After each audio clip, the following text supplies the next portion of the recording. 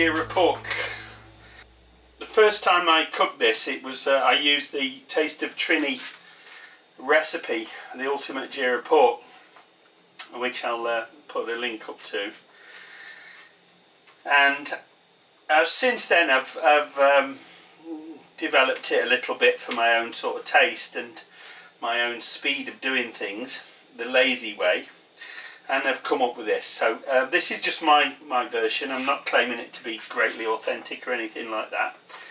Uh, but just show you the, the way I, I do it. Um, right, for this i am using 500 grams of belly pork which I've cut into these little thumb-sized pieces. The, the, the belly pork in this case has got no rind on it at all and that's just how I buy it. I buy it like that in 500 gram packs.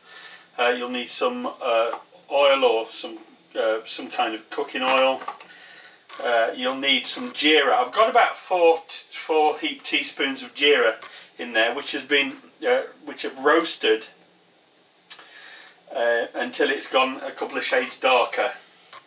And that's um, what I like to do is grind that up with a pestle and mortar. So I've got it in there ready. Whenever I cook meat without any bones, what I tend to do is add is add some sort of meat stock to it and because it's pork I'm adding a chicken stock. And this is my this is my jeera that I've been using which is otherwise known as cumin. I've got um, a couple of tablespoons of Caribbean green seasoning. Again there'll be a link to my favourite recipe for that um, in the description and above. I've got a medium-sized uh, brown onion which I've chopped up.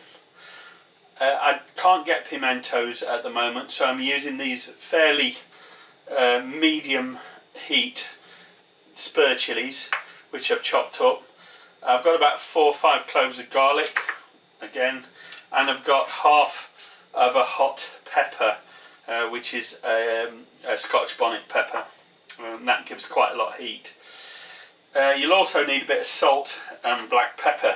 The first thing I'm going to do is grind up my spices. And what I like to do is I like to get in there and mash these up with a pestle and mortar. Um, the reason I like to do it that way is because I think it, it, it improves the flavour of of the finished spice. And what I like to do there, once I've got it ground down a little bit, is I add a bit of salt into there.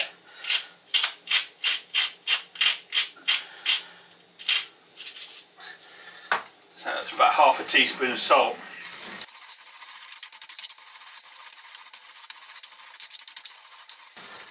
And I like to grind it up fairly fine, but not too fine, because I like the, the, the lumps um, a, a fairly large spice which cling to the meat and I really enjoy that. So into my uh, bowl of chopped pork, what I'm going to do is I'm going to add about a third of that spice mixture now. So that's a heap teaspoon, maybe a little bit more, and get that in there. Into that I'm going to put some black pepper can. Some more salt. I want about to make it up to just over a teaspoon of salt because we can always adjust for salt later. Into that goes my Caribbean seasoning, my green seasoning, and I mix that all in nicely. Lots of lovely spices in there, creating a wonderful flavour in the meat. Now, what I want to do now, mix that in thoroughly and then let that marinate. You want to let that marinate for overnight or at least about four hours to improve the flavour. You don't have to marinate it, um, but it certainly will improve the flavour if you do. I'm going to go ahead just for the uh, demonstration and instruction purposes in this video and uh, cook it right now. So first of all I'm going to use this pan so you can see into it a little bit better. Okay, that's coming up to heat. Into the pan goes some oil, just enough to coat the bottom of the pan. And into that I want to get my onions, my pimento, or in this case my red chilies, and my hot pepper. That's half a habanero, uh, sorry, half a Scotch bonnet pepper.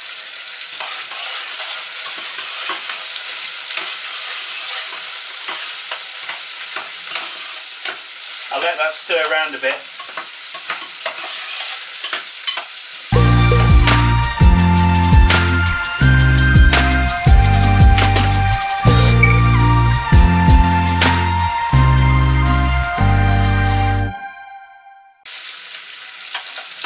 Once the onion starts to turn translucent, I'm going in with my garlic.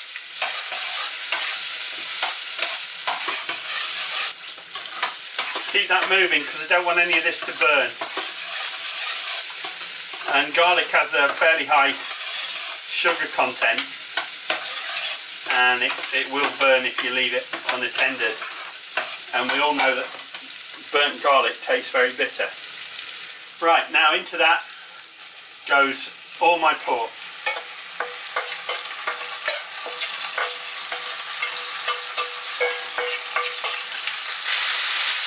I normally use a deeper pot for this, but I thought for demonstrating it,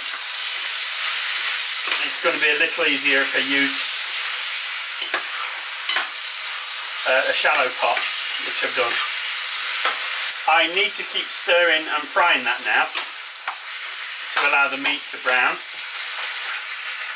Once all the meat's taken on a bit of colour, what I'm going to do now is add another.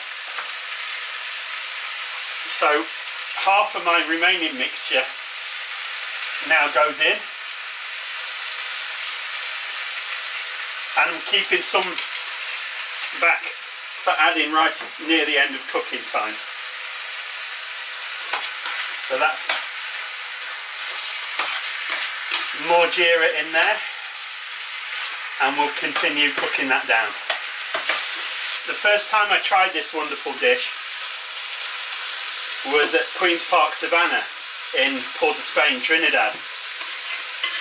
And it, it just completely blew me away. It lit me up and blew me away because it was so good. And uh, I remember sitting at the back of the, the car sharing it with uh, with my friends, my Trini friends, and having a whale of a time. I also had some um, pigfoot sauce, which was rather nice. I like to use belly pork for this because uh, there's something about the way the fat renders down and makes it all so delicious and rich. Alright, I'm going in with my stock cube, a chicken stock, and about a cup of water.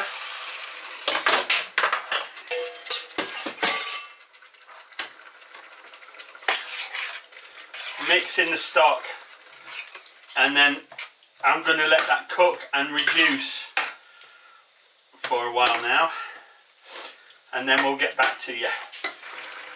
Alright, I've got it up to it's big, boiling rather vigorously. So what I'm going to do is I'm going to lower the heat a little bit so that it goes down to a fast simmer. And then I'm going to allow that to cook and reduce a little. Okay, I've let that simmer for a while with the lid on because I want to preserve some of the juice. And you can reduce this now until it really clings to the meat and serve it as cutters or as an appetizer you know with cocktail sticks something like that. Uh, to help your beer go down nice.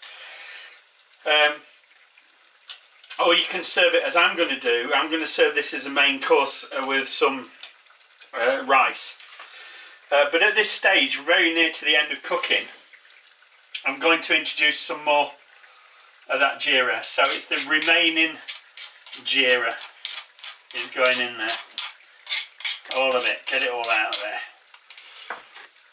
And get that stirred in.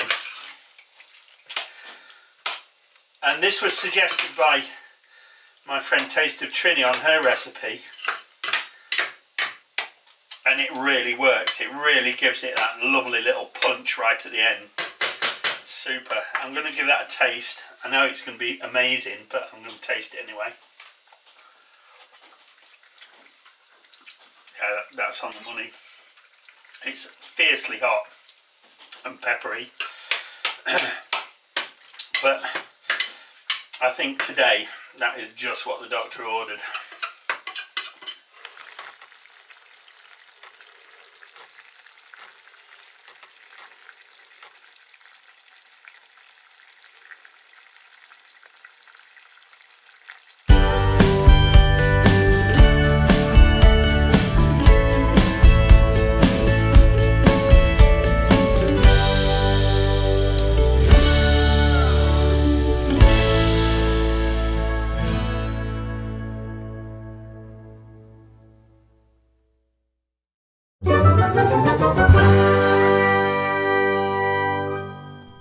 If you have enjoyed this video, please give it a thumbs up. If you would like to follow my channel, please subscribe and be sure to click the bell icon to receive notification of all my upcoming videos. Thanks for watching.